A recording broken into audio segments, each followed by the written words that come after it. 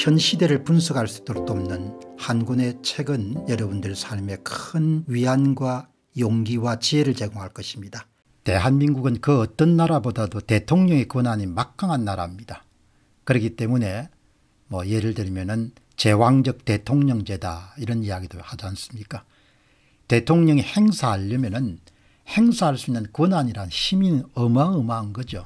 윤석열 대통령이 말하는 자유란 것은 도대체 어떤 자유인가 그런 생각을 하게 됩니다. 오늘 짧은 기사에서 윤석열 대통령이 하계 휴가를 마치고 돌아오면 광복절에서 내놓을 메시지를 고심하고 있다. 뭐 취재한 내용이기 때문에 100%뭐 정확하다고는 볼 수 없겠죠. 그러나 광복절에도 자유를 강조하겠다. 그리고 취임사에서 나왔던 35번의 자유보다도 진일보한 좀 더 구체적인 자유를 이야기하겠다. 그렇기 때문에 저 머릿속에는 그러면 취임사에서 말한 윤석열의 자유는 어떤 자유고 광복절에 이야기할 그런 구체적인 자유는 또 어떤 자유인가 그런 생각이 떠오르는 겁니다. 여러분 사람이 생각을 좀 하고 살아야 되지 않습니까 예, 이익 외에 세상 돌아가는 것도 생각을 못하게 되면 은 가장이 생각 없으면 식솔들이 엄청 고생을 하지 않습니까 죽을 고생을 하죠. 나라도 마찬가지지 않습니까 대통령이 생각이 좀 깊고 반듯하지 않으면 은 그를 따르는 국민들이 엄청나게 고생을 많이 하죠. 그래서 내용을 한번 봤습니다. 광복절에 강조할 윤석열 대통령의 자유는 도대체 어떤 자유인가 취임 때 자유를 35번 외친 윤석열 8.25 경축사도 자유를 외친다 궁금하지 않습니까 대통령 취임 이후의 첫 광복절 경축사는 제2의 취임사라고 불립니다. 역대 대통령들은 첫 경축사에서 향후 5년간의 국정화두를 제시해왔습니다. 취임사가 꿈과 희망을 담은 청사진에 가까웠다면 대통령이 국정 운영을 경험한 뒤로는 경축사는 주로 세밀한 국정 설계도 역할을 해왔습니다. 5월에 취임해서 3.1절 기념사의 기회가 없었던 윤석열 대통령에게는 이번 8.25 경축사가 취임식 이후에 첫 번째 대국민 연설입니다. 뭐 크게 기대를 안 하지만 그래도 기자가 윤석열 대통령이 8.25 경축사에서 구체적인 자유를 언급하겠다 그렇기 때문에 뭐 그냥 호기심이 생기지 않습니까 그래서 그 내용을 좀 더 보니까 중앙일보 취재를 종합하게 되면 은 윤석열 대통령의 경축사에는 취임사와 마찬가지로 자유가 주요 키워드로 담길 예정이다. 8.25 경축사에도 윤석열 대통령은 지난 5월 자유를 사랑하는 세계 시민 여러분으로 시작한 취임사에서 자유라는 그런 단어를 35번 언급했다. 국민의힘의 핵심 관계자는 취임사에서 자유를 강조했던 만큼 이제는 자유가 우리 현실에서 어떤 의미를 지닐 수 있는지를 경축사에 닮을 예정입니다. 이런 이야기를 하네요. 구체적인 자유가 뭔지 추상적인 자유가 뭔지 취임 이후에 윤석열 대통령의 행보를 보게 되면 은 그냥 윤석열 대통령의 자유는 말로 하는 자유구나 그런 생각을 하시는 분들이 시민들 가운데 굉장히 많으실 겁니다. 8.25 경축사에는 구체적인 자유를 말한다고 하니까 또 한 번 기대감을 갖고 한번 기다려보자. 이렇게 생각하는 사람도 있겠지만 그러나 저는 뭐가 그렇게 기다릴 게 있겠습니까? 한 100일 정도가 되면 그 사람들의 실력 그 사람들이 갖고 있는 가치관 그 사람들의 태도 그 사람의 의지 같은 것이 대부분 다 드러나게 되죠. 우리가 사랑에 빠질 때처럼 첫눈에 반하는 것은 아니지만 100일 정도의 그 사람들의 은행을 보게 되면 그러면 대부분은 다 드러나게 되는 것이죠. 물론 또 예외적인 경우가 발생할 가능성을 완전히 배제할 수는 없을 것입니다. 그럼에도 한 보면은 100일 정도가 대비되면 아, 저 사람은 저런 유행의 인간이구나. 아, 저 사람은 저렇게 행동하구나. 아, 저 사람은 말로 뻥을 잘 치구나. 저 사람은 허우대만 멀쩡하구나. 뭐 이런 걸 다 우리가 웬만큼 알 수가 있는 시간이죠.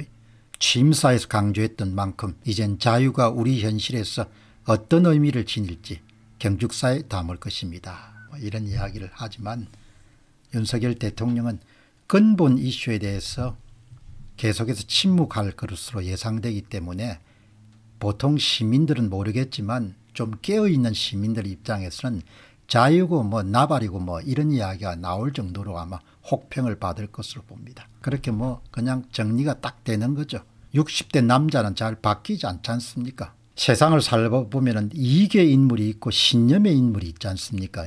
이익의 인물. 뭐 크게 이제 또 이것을 구분하는 데서는 약간 문제가 있을 수 있지만 내가 이제 사회생활하며 사람들을 이렇게 보게 되면은 뭐 다수는 이익의 인물이죠.